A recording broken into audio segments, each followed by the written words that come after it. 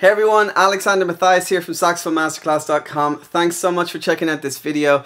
In today's lesson, I'm going to show you the number one way to start improving your rhythm on the saxophone. Now I have a lot of students inside my Saxophone Masterclass membership that struggle with their rhythm and the number one thing I get them to do is to start working to a metronome. So in this video I'm going to take you through the different steps that you need to take in order to start practicing to a metronome on the saxophone so you can start improving your rhythm and being able to play your favorite songs with ease. Now, if you don't have a metronome like mine, which is this Korg TM60, you can either find one on Amazon or you can check your smartphone if you have one in the App Store, and there's plenty of free metronomes in there.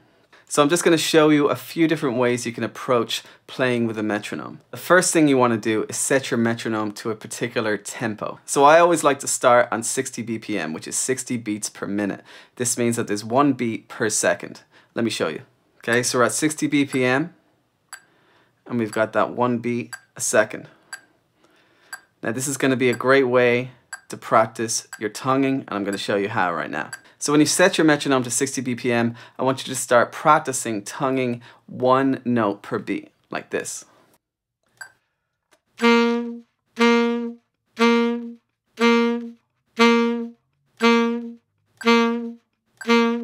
So you could hear there that I was tonguing on the note G every beat. So this is how you should practice your tonguing. Just practice playing on one note of your choice. In this case, I chose G, and practice playing that tonguing technique that you're focusing on every beat like that.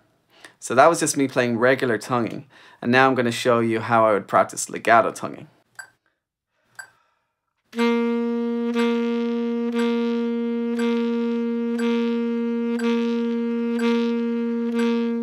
So that was me practicing legato tonguing on every beat. Now we're going to do the same thing with staccato tonguing.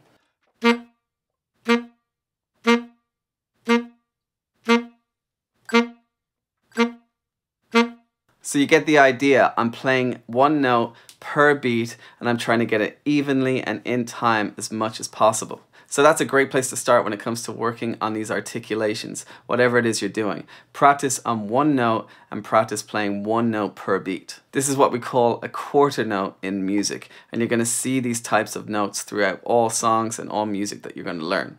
Alright everyone, I really hope you enjoyed today's lesson. Remember, this is part of my Saxophone Success Path, which you can get inside the Saxophone Masterclass membership. Just go to saxophonemasterclass.com forward slash membership to learn more about that. And not only do you get a curated path to follow with hundreds of lessons and videos and PDFs and audio files, but you also get feedback from me personally as you're working through the Saxophone Success Path. So you're never lost, you're always getting feedback, you're always getting constructive criticism as you're working through the curriculum.